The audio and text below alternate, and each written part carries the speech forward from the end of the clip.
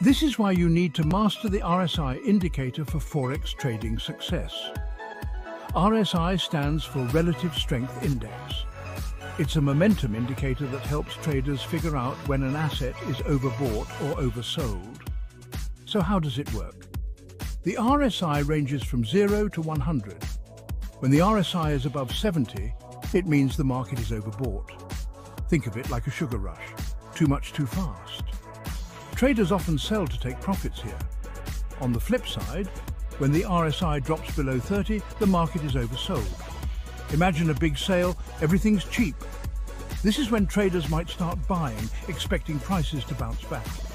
Why is this important? Knowing when the market is overbought or oversold helps you make smart trading decisions. It's like having a weather forecast for your trades. So want to boost your Forex skills? Keep an eye on the RSI. Learn Forex easily and earn Join RTF Digital Academy today.